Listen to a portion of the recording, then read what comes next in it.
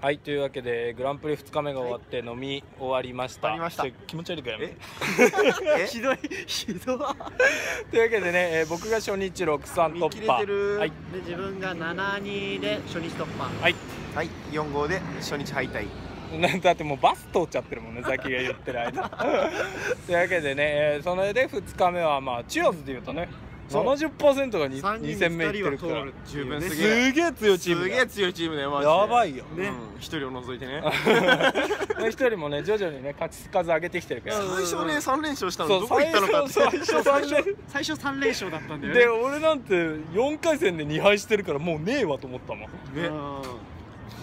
えーまあその後ね僕は初日を1ラウン1回目のクロミドハスクでドロップしてえっ、といいなんか2日目ね。あ2日目。なんかいい感じでね戦ったんですけどなんかインドネシアから来てくれてる男の子がめちゃくちゃ面白かったんで、ねいい子だったよね。そう。でドロップ。はい。で自分は1回戦は勝ったんですけど以降連敗して8号になっちゃったんでドロップして。2日目は？2日目？2日目はね歩き回ってた、ただただ。うん。歩き回ってた。楽しかったよ。足が棒になった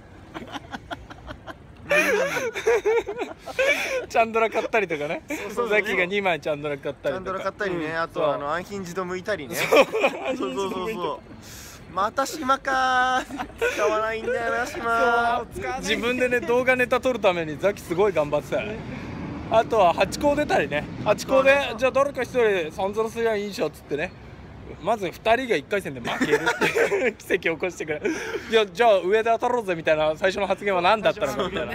俺最初だって1回戦のさマッチング見てお2人がまあ2回戦で当たって俺が決勝で当たる。よっしゃって思ってたら俺1回戦負けた。一没すぎマジで。あれひどかったね。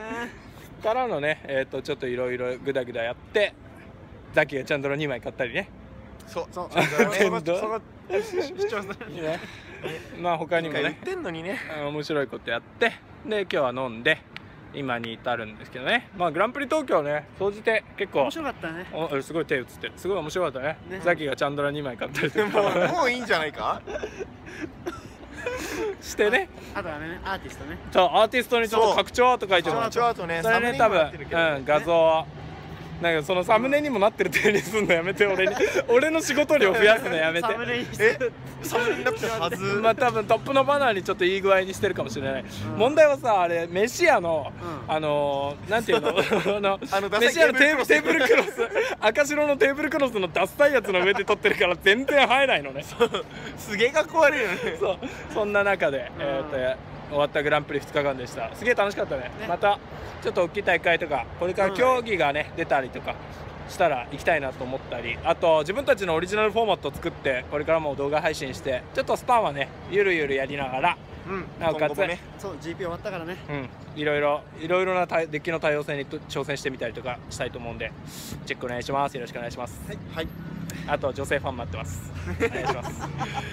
というわけでね。ではい。じゃあ皆さん挨拶甲斐さんに連絡してあげて。電話番号書くなよお前ら。え？やめろや。コメント欄そに模範だぞ。模範って何？模範無本。やっぱ というわけでありがとうございます。また。あじゃあね